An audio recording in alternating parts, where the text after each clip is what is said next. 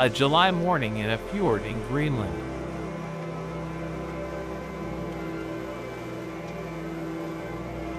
We are with Hitu, a former fisherman who has transitioned to adventure tourism.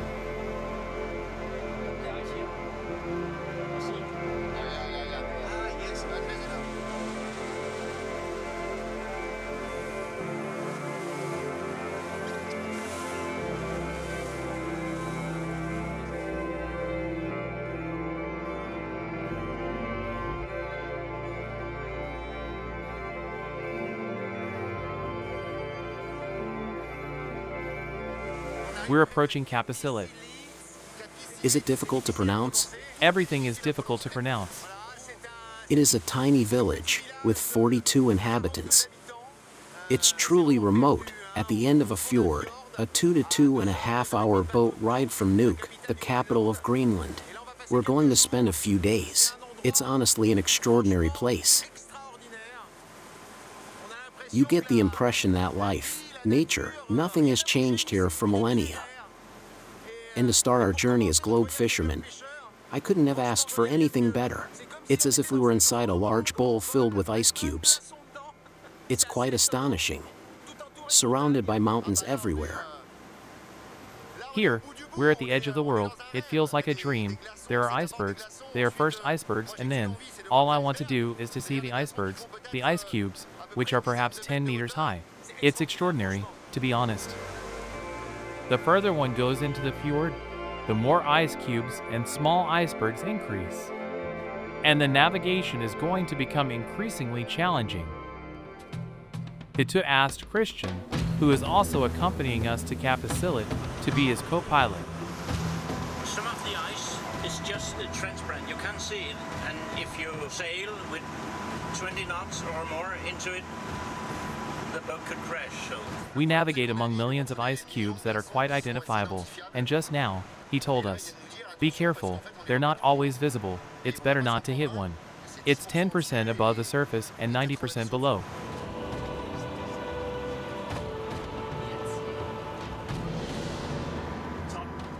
We can barely talk to them. We maneuver through them on the right and left. So concentrated. It's funny. Despite the danger, there's an incredible good mood. They keep laughing, they're very concentrated, but they don't stop joking around. Tran will sing a song for us. I only have eyes for you. The song is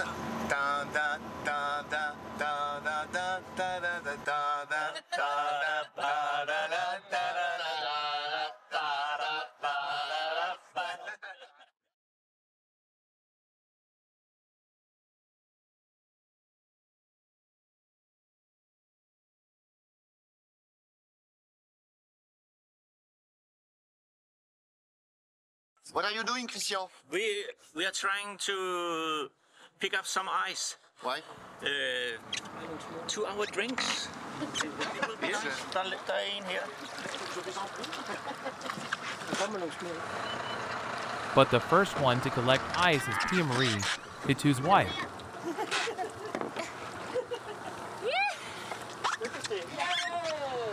This is pure ice. Huh? This is pure ice. Yes, it's the best quality. Huh? Yeah, it's the best for drinks. It's about the purest water in the world. A few thousand years. Je sais pas ce qu'il m'a dit. How long? I think it's more than 200,000 years old. 200,000. Yeah. This is Greenlandic vodka. 200 000 ans. This is Greenlandic. Ah, this is special Greenlandic vodka. Yes, Yes. of course. Yes, and with the local ice, Yeah, it's made from the water. is it like a treasure? Huh? Yeah, exactly. There's something quite funny. We left Nuuk 2, maybe two and a half hours ago. It was very cold, barely 5 degrees. And now, it's unbelievable, it must be 15 or 18 degrees. It's a different world.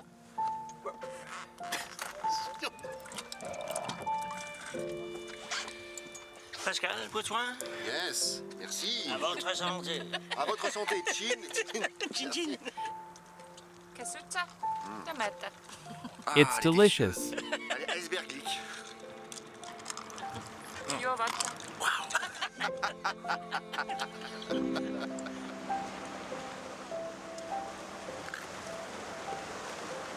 It's got a bit of a local flavor. Yeah.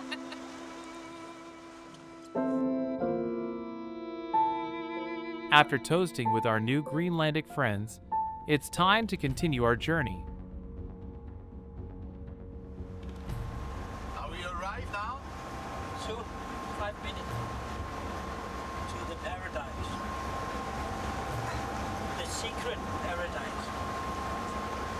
We tend to believe that paradise is in blue lagoons with palm trees, but it exists here too.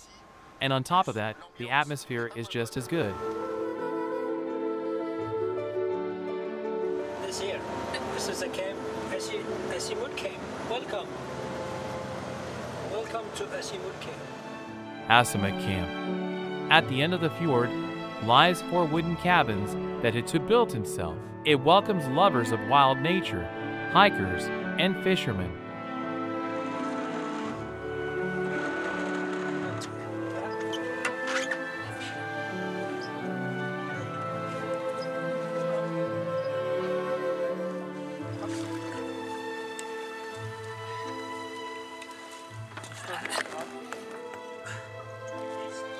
We're heading towards the cabin that Hitu has reserved for us. First impression, a true sense of the end of the world and an absolutely unique setting. Is it sporty? Yes, but if it's to arrive there, I'm willing to make all the efforts in the world.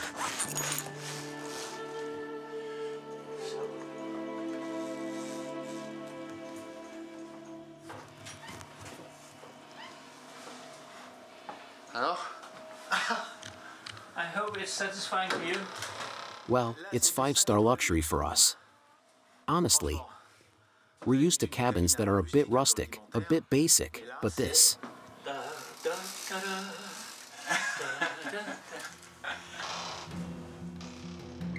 On the other side of the bay, the small fishing village of Kapisillit. But before we go visit it, we prefer to gear up and go fishing.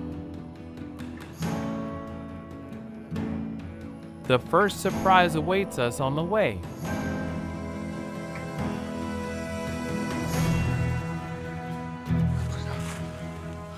Look at that one. Sur le chemin, il y a plein de cèpes. On est au mois de juillet. Ici, il y a des cèpes. Et à foison. Porcini mushrooms that are also called Arctic boletes. Here, they're all edible. The culinary journey starts with porcini mushrooms. We didn't catch any fish, but we already have porcini mushrooms. We've already found the side dish. Now let's go fishing for the main course. After a 45 minute hike, we reach the famous Seven Lakes Trail. Freshwater lakes connected by wide and tumultuous streams. The flies are with us, a good sign of the presence of salmonids. We start with this spoon lure in the calmest part of the river.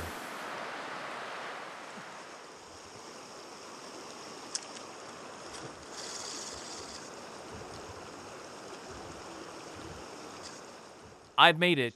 Great.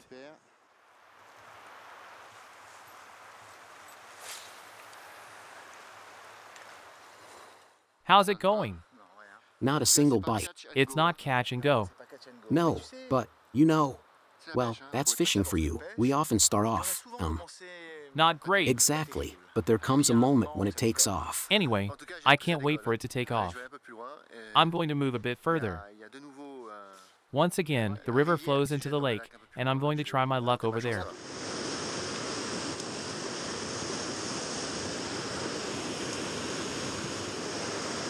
They don't want to bite.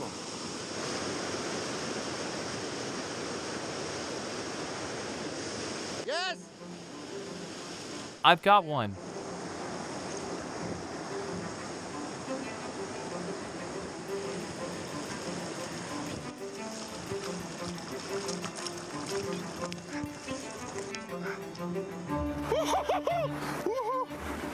I have caught my first salmon. In this tumultuous river, we jiggle with a size 3 spoon lure and entice them. And then, I had the complete impression of having caught a rock because it was, um, I had the impression that wasn't moving. It was powerful. I got it. I'm going to meet Bertrand, Can't wait to show it to him. Hope he got one too. How did you do it? Stunning. Look, Gorgeous. Beautiful. is that an Arctic? Is it? Yes, a very beautiful Arctic.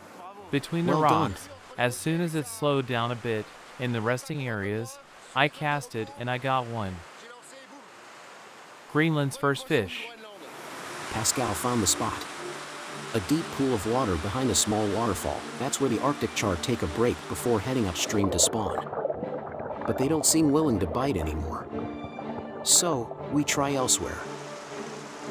Already half a day of fishing, only one fish. Just before leaving, Pascal catches his second one, but it came at a cost. I just caught another one in that hole over there, but I might have broken something in the process. My fishing rod just broke. The second one, we've been struggling with Bertrand for three hours. It's been a very tough day. I lost a landing net. I just broke my fishing rod. We both lost maybe five or six spoons. It's difficult to continue fishing, to be honest. For now, it's a stunning place. But the fish are not quite cooperating. Perhaps our expectations were too high. We were fantasizing too much. We were told there would be fish, but I don't know. There might be some, but they're not biting much.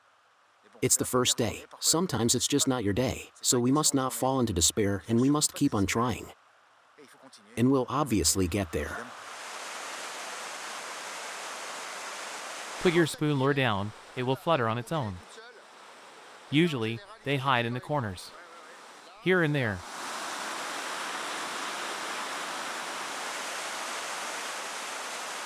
Bertrand decides to make a few casts.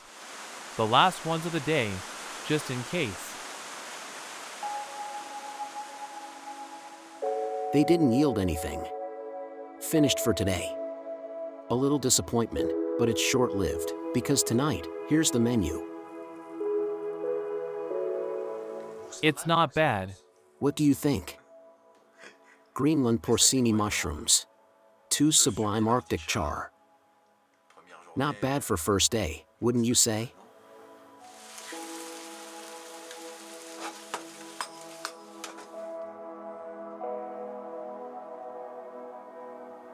Isn't it great? Summer nights are short in Greenland, barely a few hours. We are intrigued by the small village of Kapisillit. It is just 7 a.m. in the morning. We decide to go and have a look around. There are about 30 traditional wooden houses. In summer, the population rises to 70 inhabitants. We ended up not seeing anyone this morning. However, we have other plans. That's it. Are you all ready? Yes, that's it. We took our time for once. We have prepared well. We are ready. We're going to hike the Seven Lakes Trail where, reportedly, there is an endemic salmon. Hitu told us that there is a spot. We'll go up the river, and just as we reach the lake, that's where the fish are. Of course, it's not an exact measurement. He told us all about it with uncertainty. Well, we'll see. The last of the seven lakes. Here is just before the river flows into the fjord. It's here, a few meters between the river and the lake, where the water seems quieter that it would be possible to catch the famous endemic salmon. We are not alone this morning. The village children who know the area have been fishing for a good hour, but they haven't caught anything yet, and our first casts are also yielding no results.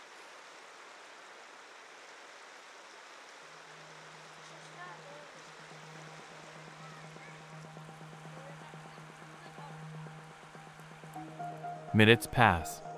Long minutes. When suddenly,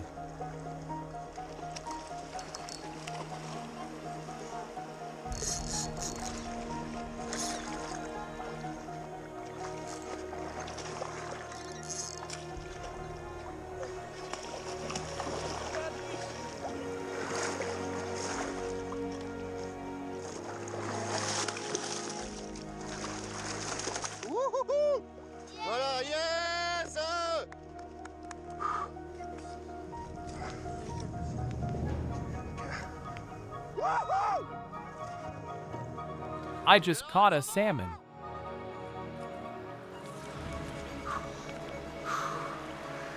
Oh, Sublime. What beauty!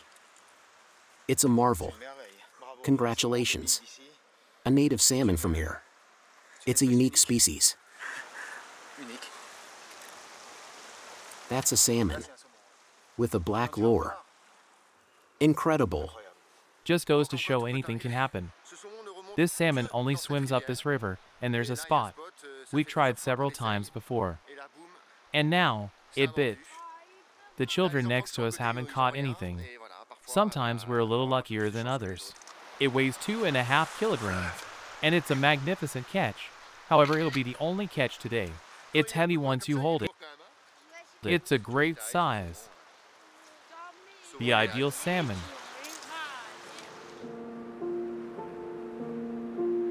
Tonight, it's a feast at the cabin. It starts with this Arctic char caught the day before, raw, marinated. A simple preparation with olive oil, lemon, and chives.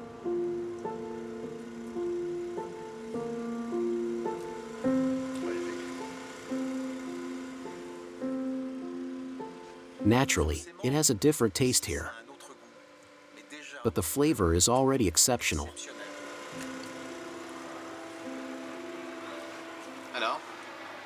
It is the same preparation as usual.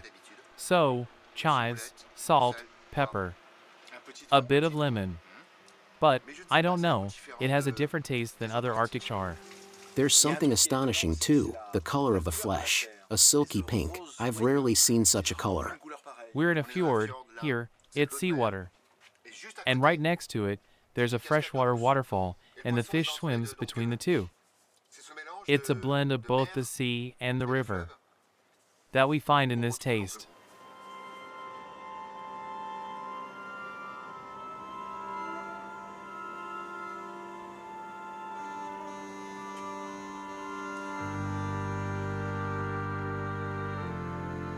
Tonight, we're hosting our friends for dinner. We still have one Arctic char, the beautiful salmon from today, and a handful of porcini mushrooms that we'll share. Wow. And you pick some. s- Uh, it's beautiful. This young guy here is the only river where the salmon are coming up and put their eggs in, in, in the lakes. All, all in, in Greenland? In all Greenland, it's the only river. It's a special one. And you can see the, the, uh, the, this one is very healthy. It's uh, very red. It's a healthy salmon. This is 100% natural local salmon. We'll of course enjoy it with Christian and his wife Inga, who has just joined us. I'm very happy. Pour boire un verre. Okay, okay. Santé. in Greenland, kasuta. That's Keshuta? kasuta. Keshuta. Here's the simplest way in foil. After it's cooked, but semi cooked, of course, we'll add a bit of salt, pepper, olive oil, maybe some chives. While it's cooking, we let our guests taste the marinated Arctic char. For Inga, who is of Inuit origin, it's a first. and I never get shared uh, like this. So you, you mean that your grandfather was a hunter? Ah, okay. And they they have a special place. Yeah. Her family have a special place Yes. where where they catch the trouts, and they stay on this place uh, for perhaps three weeks, four weeks, and they smoke Ah, as well. Ah, c'est smoked salmon. okay, okay. Yes. So you, you used to, to eat only smoked salmon, never like that. No. Never carpaccio. Is it the Never. first time? No, Yes. tell me. It's This is, the First time. this is the first time? C'est incredible. We have a Greenlander who will eat carpaccio for the first time. What do you think? It's very well. And uh, the smelting in my mouth. Really? Yes. So they say it's a different taste, like Yes. smoked salmon. yes. It's very different. Voilà. I think that the cook Oh, it smells is so yes, well. it smells so incredible. It's so we're gonna take a little bit uh, olive oil. Yeah. Now. A little bit. Like that. For a Frenchman, it's a little bit. And then if it's not enough, you can do more yourself. Yeah. And then a little bit euh, ciboulette. hein. On va rajouter un peu de ciboulette. Voilà. Je crois que I believe that happiness is in the dish after all.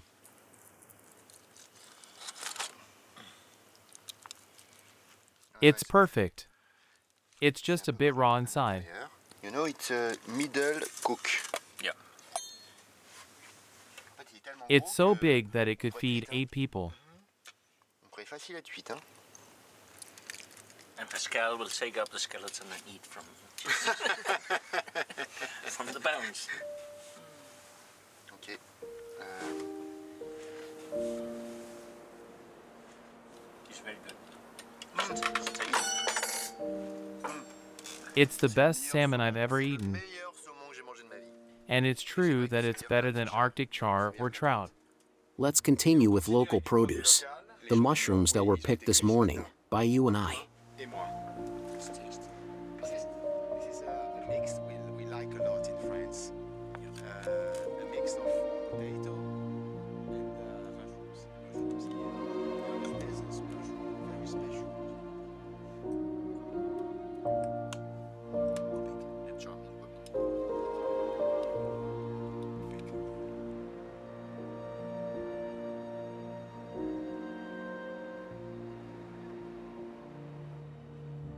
The next day, a new fishing adventure awaits us in the fjord.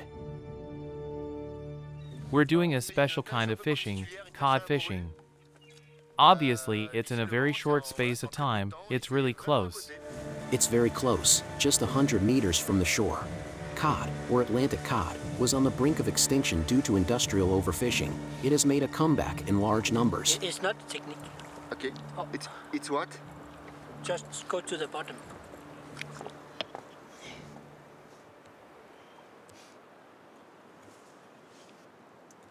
Five, four, three, two, one. Now, Really? yeah. Are you ready? It's a joke! Ah, I took it too fast. Sorry. Now You it's lost the it? wind. It's a technique of great simplicity. Apparently, the simplest techniques are not necessarily the easiest to execute. It's Bertrand's turn, and a few seconds later, he hooks another fish. Ah, tu vois? Yeah, good. Ouais, un beau. Wow. I mustn't break the line. Take it easy. But this one won't get away. Do you like the picture? Your Oh wow, your first cod. Bertrand's first cod. The first cod of Greenland. That's great. Congratulations. Thank you. Yeah. Thank you, Itu. Yeah. You have succeeded. It's because of you. Let's let's try one more. Yeah, Tiens, Pascal, one more pour toi. Ah. Did you get one? Ça y est? Ça y est? Ouais. Ah, ah, ah, Yes, oui, ça y est. I got one. Mais- mais c'est But this is crazy. This one's heavy. Great. Wonderful. Superbe. Bon, écoute. My first cod. It's a minute fish here. Effectivement, c'est un You catch it in less than five minutes. En moins de cinq minutes, on attrape. Donc, We got enough. We fish Ici, on pêche responsibly here. So, we'll stop. One fish each will be enough for this morning. We return to the camp to clean the cod. And we'll take this opportunity to rediscover forgotten flavors. What did you find? T'as vu, là Montre. Show me. This right here is the famous cod liver. Morue qu'on man- Mais évidemment. The cod liver they used to make us eat when we were children. And we used to hate it. We hated it. Ça. Mais tu veux que je te But now, I don't hate it at all. You're eating it raw? It's delicious. You serious? It's great. It does taste like cod liver, reconnaît le goût but much better. mais en bien meilleur. Hein on, on reconnaît Oui, oui, absolument. Les yeux fermés, With eyes closed, you'd say cod liver, Mais c'est bon. but it's good. After spending three days in Kapisillit, it's time for us to head back to the capital all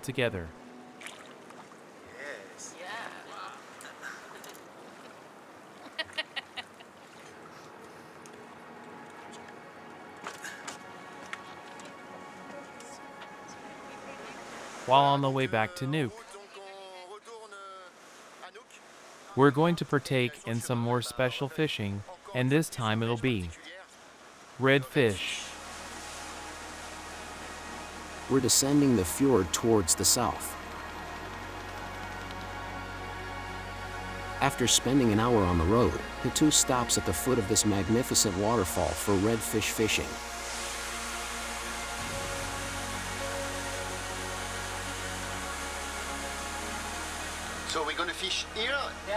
The red fish, how can we describe it?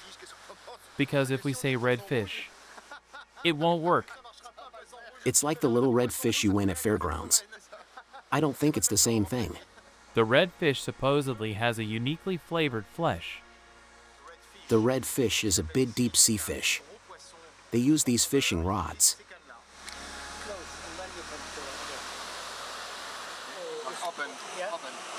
The technique is the same as for cod. We go all the way down to the bottom. It's about 30 meters deep.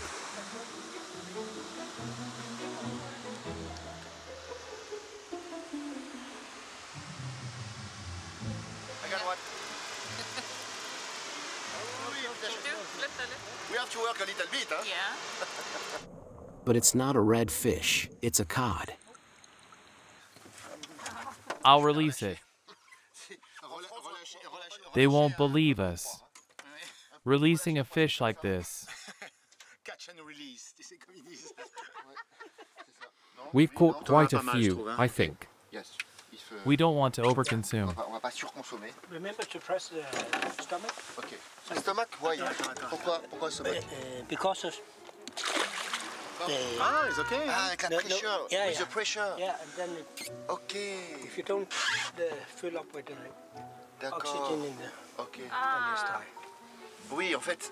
en fait, What he's explaining to us is that since we're releasing it and it comes from the depths, due to the pressure, we need to press on its stomach, otherwise, it will experience pressure imbalance and can burst when it goes back down.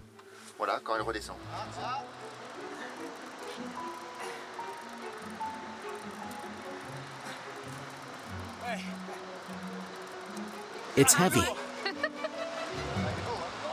Yes, it's a beautiful fish. Bertrand also doesn't catch a red fish.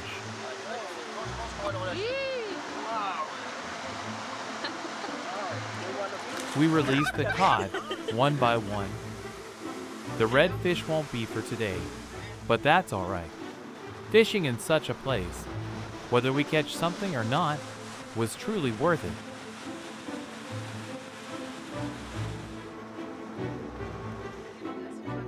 It's the end of the day, and we finally arrive in Nuuk, the capital of Greenland.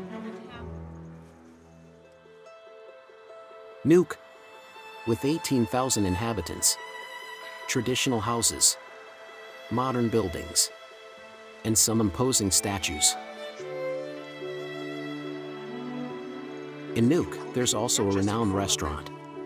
We meet Kirsten Glack, who is responsible for grocery shopping for the restaurant every morning. We accompany her to the city's market.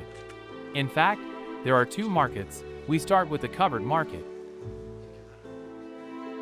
On the stall, there's whale meat. Greenland is one of the few countries that can consume it, but there are quotas to protect the species. We're being offered a taste. Is it good? Raw whale meat, is it good? Very good. It tastes like beef carpaccio. It has a slight iron taste, salty iron. De fer salé. It's a fish de how long? I think it's caught two or three days ago. What was the size of this one? About six meters long. Six meters long. Okay. Uh, you can take it. The minke whale is one of the smallest whale species. They represent three quarters of the catches within a quota of 200 whales allowed to be caught each year. Now we head to the other market. Let's go to the second one. Maybe there will be seal meat. It's even said that they sell walrus here.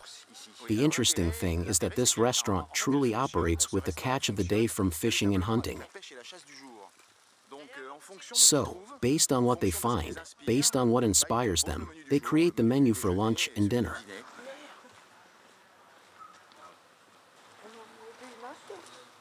There's nothing.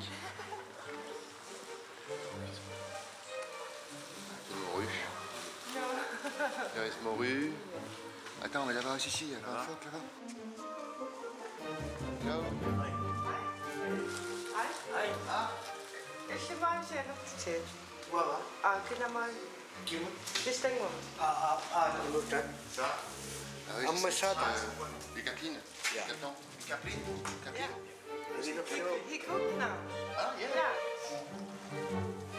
This is what we call capelin. This famous little fish arrives on the shores of Greenland, mostly in the south, by the hundreds of thousands. It's a very short season, so we shouldn't miss it. And I've been told that it belongs to the salmonid family, like trout, salmon, and Arctic char. There's some seal meat. It doesn't look very appealing. It's a bit butcher-like, but it could be interesting.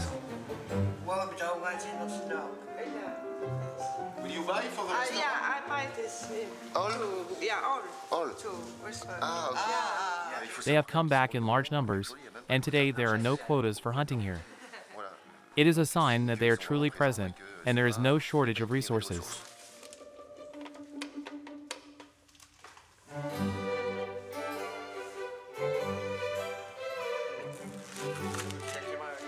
About 15 kilos? Yes, but she's going to take the whole bag for a restaurant. It's soup. Soup? Yeah. Ah, you, you make Ah, it in yeah, soup? yeah. Ah, okay. This is a traditional With- dish here? yeah. Yeah, traditional. With rice. Yeah, n- n- not grilled. Not grilled. Not grilled. Yeah. In soup, In soup, potatoes, onion, onions, yes. and rice. That's it.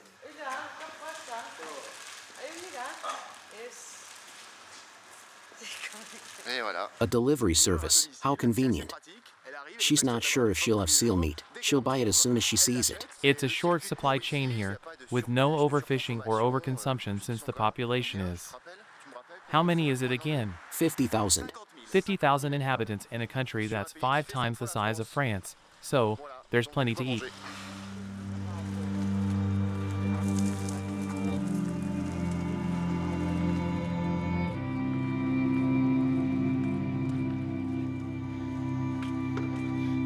While waiting to taste the famous evening menu, it is time for lunch, and we have planned a picnic by the fjord.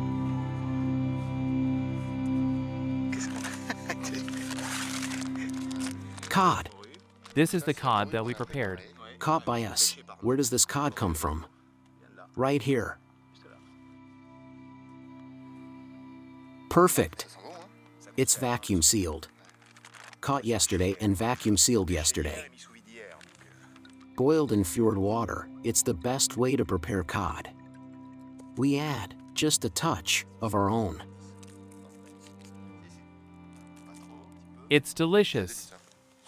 Is it really? I feel like it's not just flesh. I assure you, it's lobster meat. I swear, it tastes like lobster, with the flavor of lobster. A firm and delicate cod with the taste of lobster. An environment of absolute purity. Today, we are not far from paradise.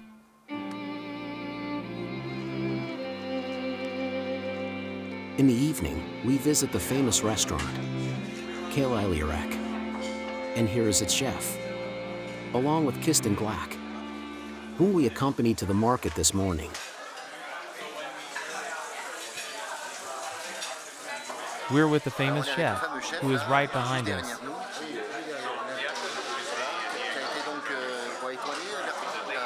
I believe he has been voted the best chef in Greenland several times. What's interesting about this chef is that he highlights Greenlandic culture. What is your philosophy? Use local, huh? Use the local ingredients as much as possible. The evening menu consists of 100% local dishes, prepared with the day's ingredients.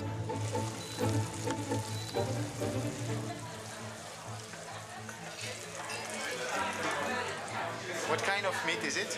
Lamb. Donc, donc ça c'est de l'agneau de- d'ici. Et ça Couscous. Couscous is So, it's green Greenlandic reindeer.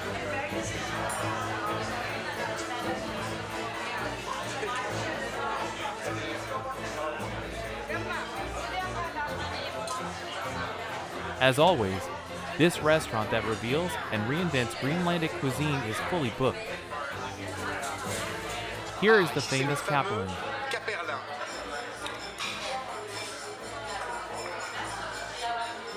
I have already eaten dried fish. Here, it's a whole dried fish. It's a bit strange, but I like it. It's not uninteresting. And this is dried whale. Baleine séchée. Du Dried whale liver. séchée. Du foie. You like liver. You like the cod liver. So, how is it? Solid. It has a lot of flavor. Ça a beaucoup de goût. And now, one of the emblematic dishes of Greenland raw whale skin with its fat. Thank you. You have to cut it with this small tool.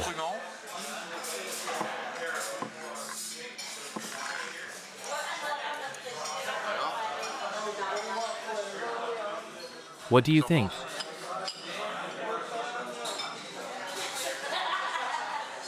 It's a bit like survival food. I'm not going to take a big piece.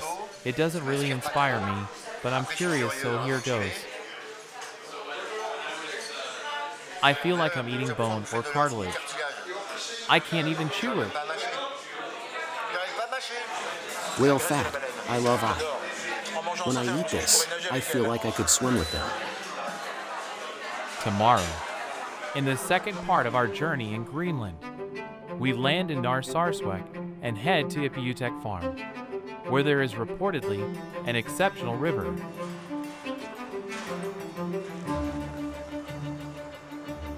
There's a French woman who opened a guest house there, and during the year, they also raise sheep. She fell in love with a, um, With a sheep?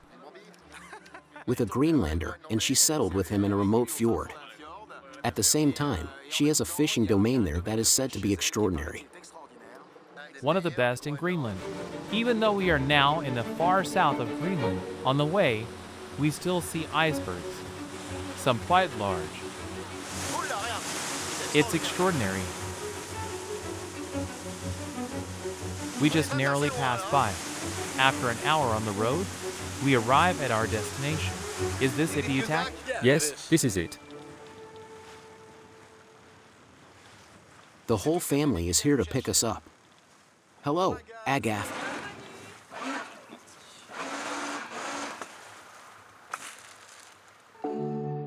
Ipiutak is a 10 hectare domain. It includes a farm, a large sheepfold with 250 sheep, a table d'hôte, a few wooden chalets, and nothing else around. In the summer, there is a lot of work in the fields. And Callista, Agath's husband, is on his tractor until nightfall. The Franco Greenlandic family does everything themselves and settled here in 2007. It's already their 11th year in an environment that is not always hospitable.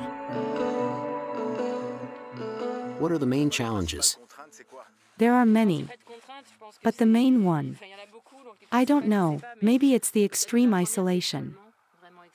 In winter, we can go for several weeks, sometimes even months, without seeing anyone else but ourselves.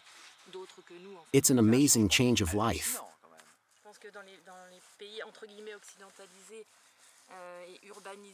I think that in westernized and urbanized countries, even in the countryside, it reminds us of our position in the natural world. We're just a small part of nature, and it's not us who decide. On her swing, Hina, Agath, and Callista's daughter, a little girl who is not quite like others. What do you think of this life? I would say that it is very different from a normal life in the city. It is nice to be alone and have nature around me. It is also pleasant to be with animals. How is school going? My mother teaches me at home. Every morning throughout the winter. Is it because there are no classes in the summer? No, I'm on vacation. Just like everyone else then. You told me that you have family in France. Do you get to see them often? Every two and a half years or so. I'm happy to be there, but I don't like staying too long. So, you want to come back here? Yes. The next morning, it's finally time to test this river that we've heard so much about. But we don't know much about the fishing technique to use. Shall we try with a fly and a spoon and then switch? Exactly. That's exactly what we're going to do. Apparently, it's an ideal river for fly fishing, but we also make sure to bring a spoon to ensure we reach our minimum fishing quota, which is five fish per person per day, no more. We've been wanting to come here, to Agath's place, for a long time. It seems that it's one of the most beautiful fishing spots in Greenland. We shouldn't get too excited, but we just can't help it. After a short hour of hiking, we discover the Ilua River.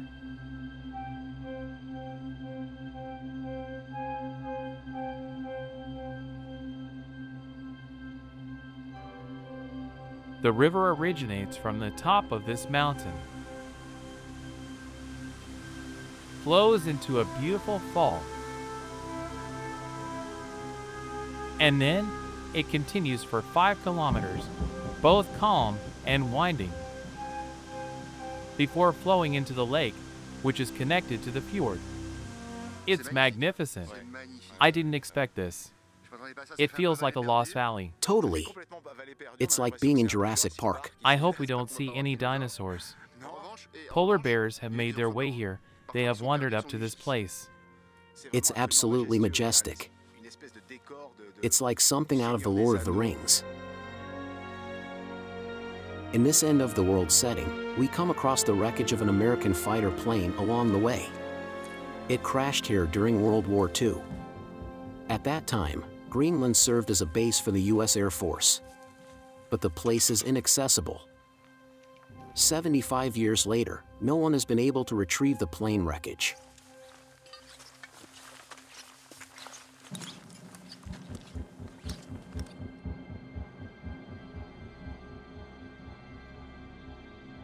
Here is the river. I think I'll have an advantage with the fly. In any case, on this stretch of the river compared to you, we need to look for holes.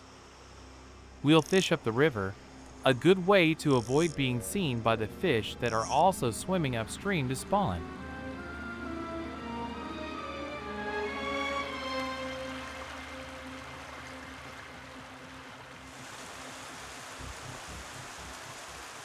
There are three or four fish swimming upstream. Magnificent, superb. When the water is clear like this, it's fantastic. That's great, but that doesn't mean I'll catch them. Yet, after a few minutes, Alors Ouais, ouais.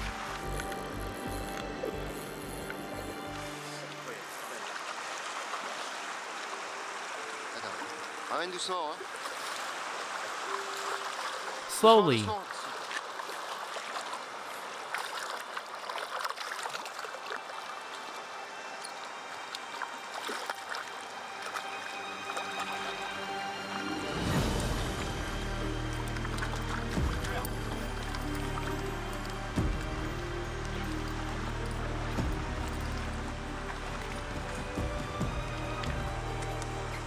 first one from Ipiutak.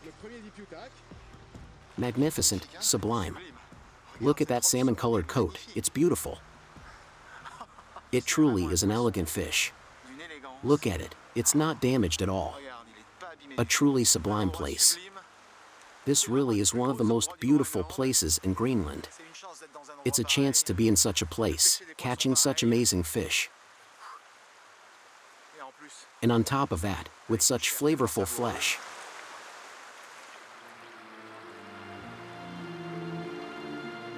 Moments later, Pascal also catches one.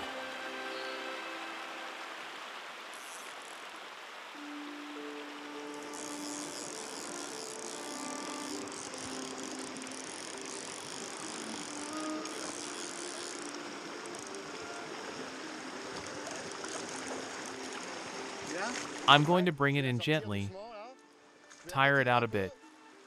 It's quite pretty, it's putting up a fight. Yes, very pretty.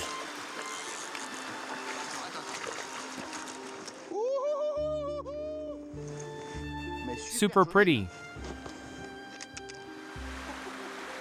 A beautiful Arctic char. It's a good size. We have a magnificent river here. There's something for everyone. A bit of spoon fishing, a bit of fly fishing. We've been on the river for about 15 minutes. Each of us has caught a nice Arctic char, but it seems we've been spotted, and they're not biting anymore. Bertrand then switches to using a streamer, a fly fishing technique where the fly is allowed to sink and drift silently.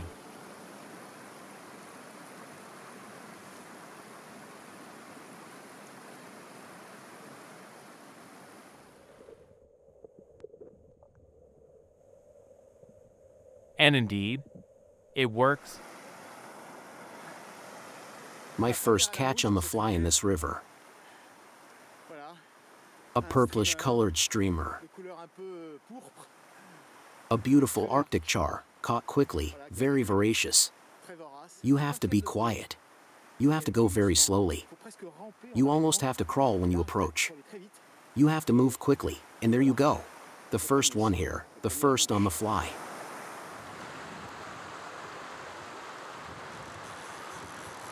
I just lost my first fly, the one I caught my first fish with.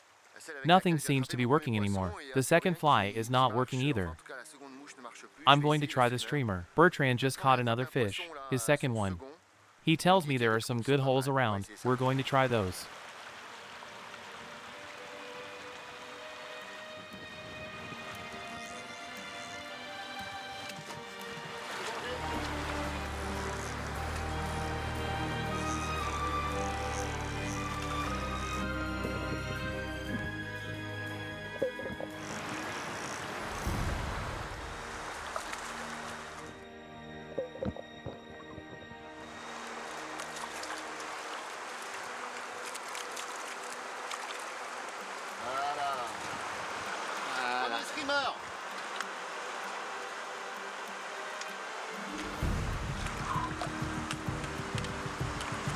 They're biting here.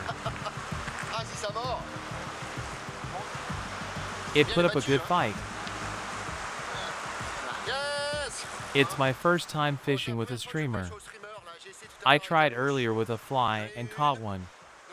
Bertrand showed me the spot, and I made three casts with the streamer. We give it a little shake, giving small jerks as if the fish were moving in different directions. I knew it was well hooked. It arrived tired, that's why it didn't struggle too much. It was tired, and that's what needed to be done, playing with it, taking my time. It has a beautiful gray coloration. We've been fishing with Pascal for an hour and a half. We've almost reached our quota. I have three, and Pascal has two.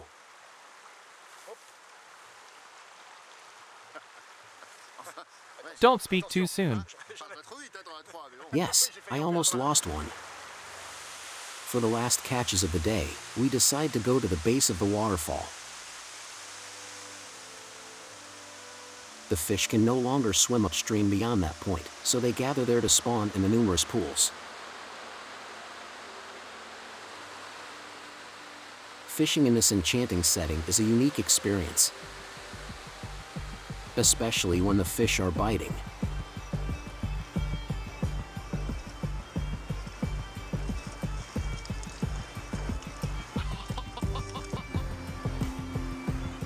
For me, it's the third catch of the day. Bertrand alternates between fly, streamer, and spoon until he makes this catch, a beautiful 3 kilogram Arctic char.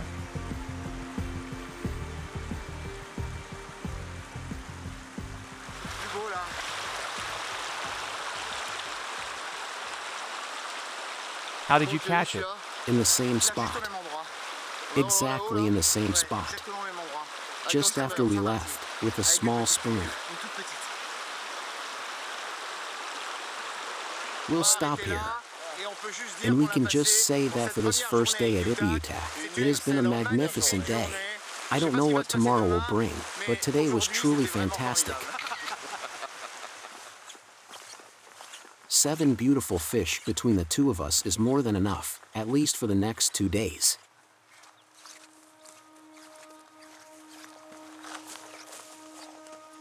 We return to Ipiutak.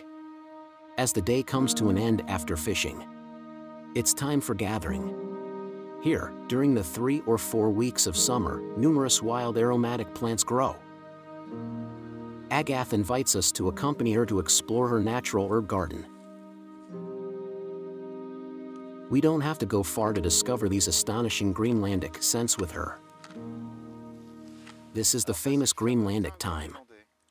I think it's called Arctic thyme. Is it comparable to the thyme It's we know in similar, France? but still quite different.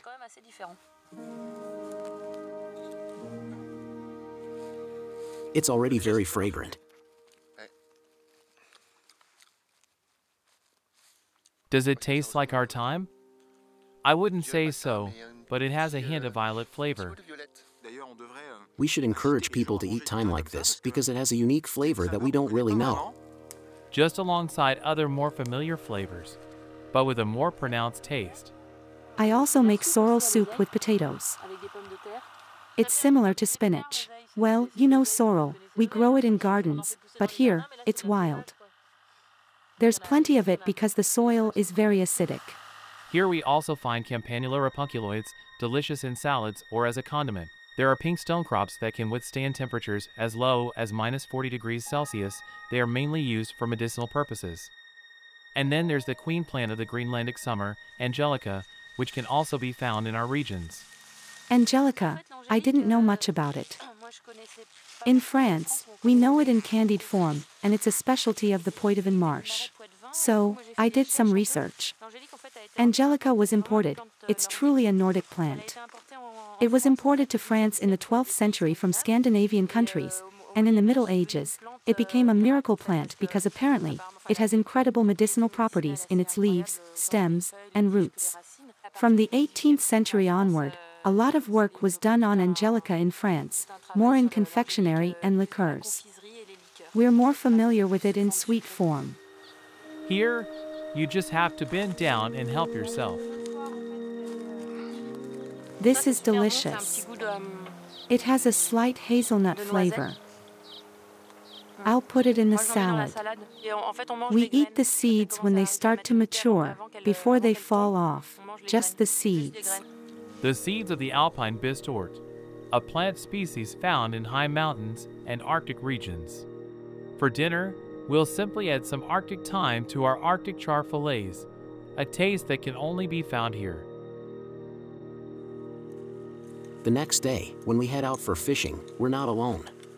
Hina, Agath's daughter, and Etienne, a young French agronomist doing an internship on the farm, are with us. And if they're joining us, there's a good reason for it. Apparently, tonight or tomorrow, there will be a bouillabaisse, and Hina is on a mission. What's your mission? To catch the trout. What will you be fishing with today? What do you have to show us? I don't have any experience with the spoon or the fly. On the farm, local fishermen mainly use the spoon, a faster technique for catching fish that they need for sustenance. You have to follow her. She doesn't know all the paths, but she's fast. She doesn't know all the paths because she never ventures far from home. I don't like being alone, far up in the mountains. There can be dangerous things. Sometimes, eagles attack when they see that we're in trouble. You never know if there could be polar bears around. A little girl in the mountains shouldn't wander alone, right?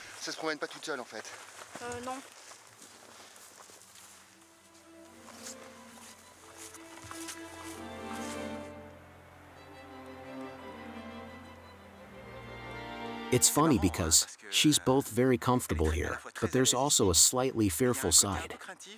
She's a unique little girl who lives in a different world, but she's very resourceful. She catches her own fish and brings them back to her mother. The fishing spot chosen by Hina is about 50 meters downstream from the large waterfall. It's apparently one of the most fish-filled areas of the river. Here, it's called the pool. So, are there any fish? It's teeming with fish. Is that so? That's incredible. There are even more than last time. In the pool, there are hundreds of Arctic char. Perhaps even thousands. The females come here to lay their eggs. The sight in this spawning zone is very impressive.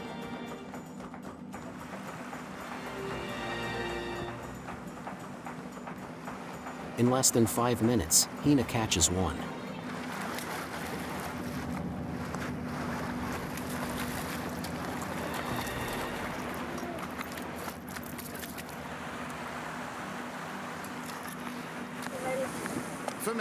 How can you tell it's a female? The males have a kind of protruding beak.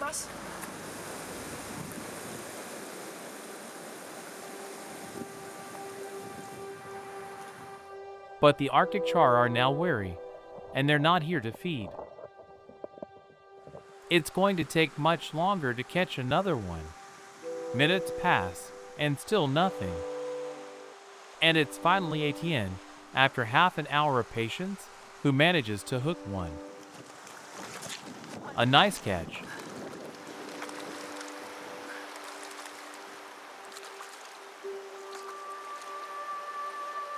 A second one, well done.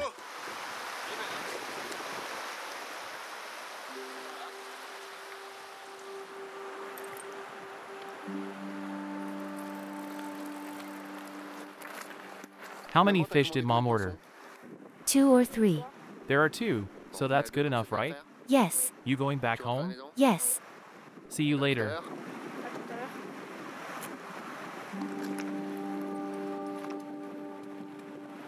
It's been a good 30 minutes since they stopped biting, but we'll still try fishing with Bertrand, but not with the spoon. We'll try nymph fishing. Before picking up his rod again, Pascal decides to capture some underwater footage. An opportunity to witness an exceptional aquatic ballet. At the same time, Bertrand positions himself on the rock overlooking the pool, and it works, but the length of the line, which risks breaking, and the apparent weight of the fish make it challenging to reel in. Take it easy. Slowly, bring it towards me. It's going to be a joint effort because there's depth here. I'm trying, but I'm struggling.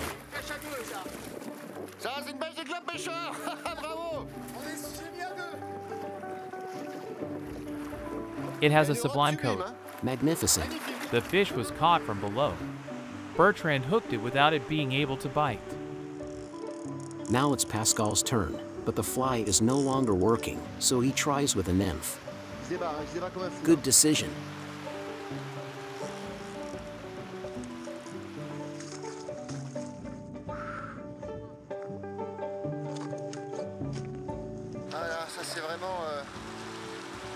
What works is the nymph.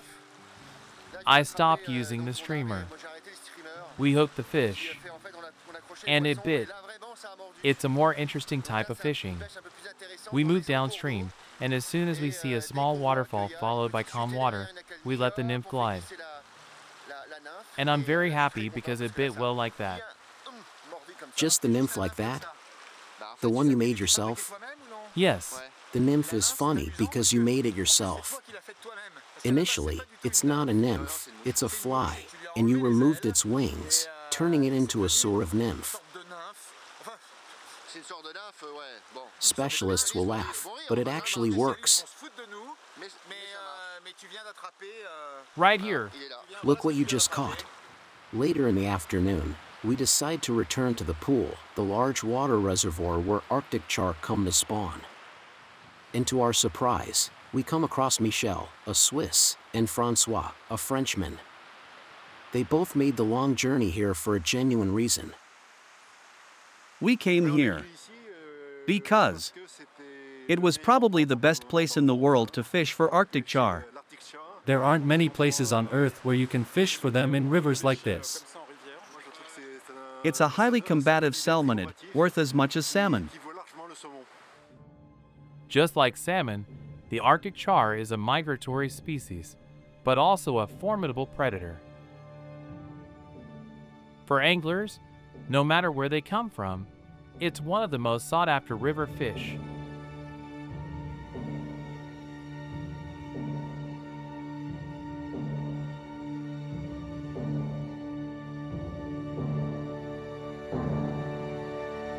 In the late afternoon, by the fjord, we meet Agath and Hina, who has put on her not happy monkey mask. The fish need to be gutted, and while the smell may attract dogs, it doesn't amuse Hina much. But tonight, several guests, including us, are expected. The mother and daughter start filleting the fish because there's a dinner to prepare. On the menu, Arctic char as an appetizer, which will also serve as the base for the main course. The highly anticipated Greenlandic bouillabaisse.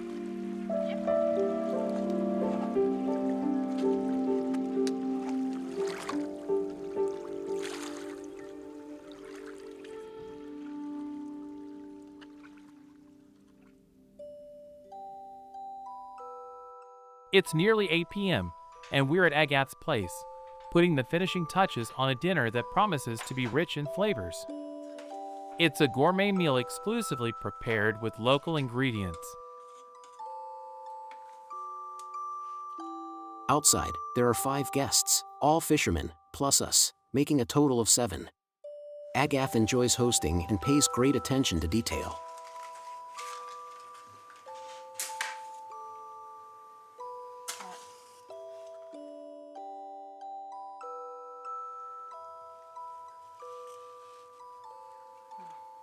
Here are our hosts. Et voilà nos hôtes. Et voilà, et voilà. Michel. Michel is one of our fishing friends. We met here and became friends instantly. Francois as well, whom we met here, we're also expecting Norwegians, fellow fishermen. What's your name? Per. You're from Norway. Is it your first day of fishing? Yes, it's my first day of fishing. At the table, there's also another Michel, a Franco-Swiss, and Harry, the second Norwegian fisherman.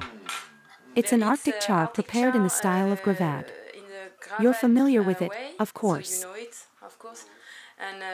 And the plant is called rosewood in English, rosenwading in Danish, and de l'Afpo in French. There's a bit of spice with alcohol. Enjoy your meal. Thank you. We're eagerly looking forward to tasting it. And with desire. It's truly delicious. Because it's. One might think it's smoked fish, but not at all. It's preserved, yet all the taste and flavors come through. It's a delight. I love it. We need to learn how to make this. Finally, here's the dish everyone has been waiting for, the Greenlandic bouillabaisse, with a subtle touch of wild thyme. A dish with a delicate aroma that will be unanimously enjoyed.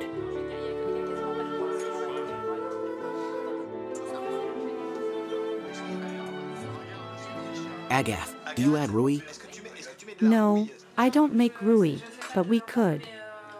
There's already plenty of garlic. It has the color and taste of bouillabaisse with an extra touch of the Arctic. And since the Arctic is honored tonight, we conclude the dinner with this sweet treat flavored with angelica, a typical Greenlandic cake. Even the flower is edible. Is it good? Yes. The next morning, under a beautiful sun, we begin our last day of fishing in Ipiutak. A day that will bring us some pleasant surprises. In the meantime, we decide to go down the river, which flows into the lake. Bertrand, we're reaching the end of the lake, the end of the world. Yes, there's the river after running for about four or five kilometers through the 45 valley. minute walk. It flows into this lake, which is connected to the fjord, so normally the fish shouldn't be be there because they've gone upstream. We'll give it a try, and even if we don't catch anything, the scenery is so magnificent that it was worth the walk.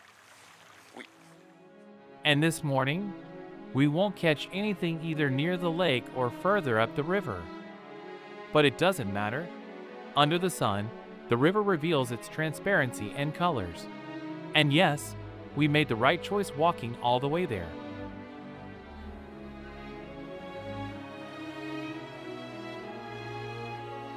Towards the end of the morning, we decide to try a different fishing technique further upstream in one of those miraculous holes we just spotted. In Greenland, hand fishing is practiced in certain rivers. It's an old tradition. But the hole is too deep, so we'll try our luck with a net.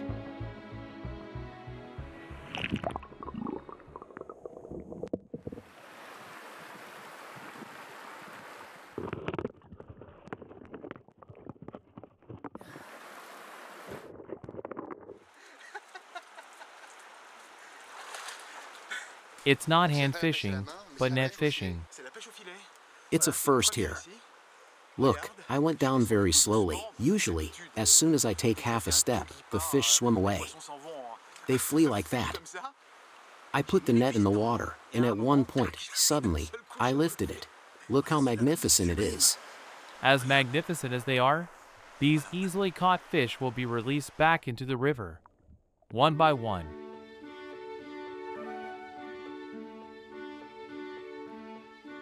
Pascal tries to go even deeper. But it's really deep.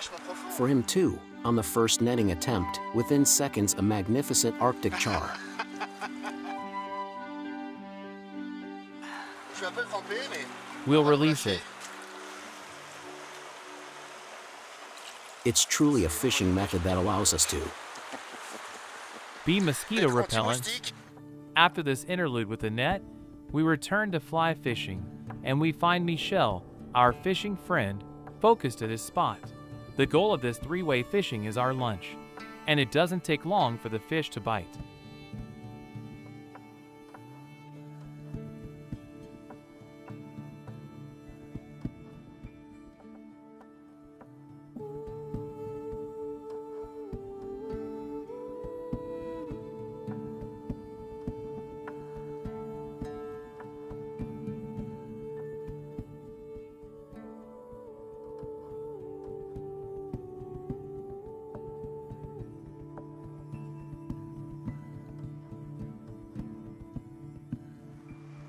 Twenty minutes later, the freshly caught fish is already being filleted.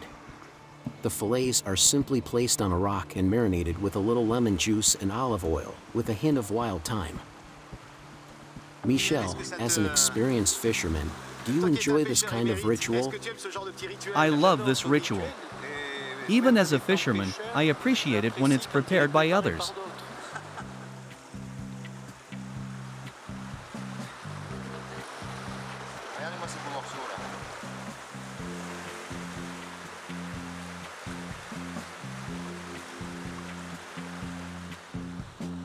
Last lunch by the Ilya River.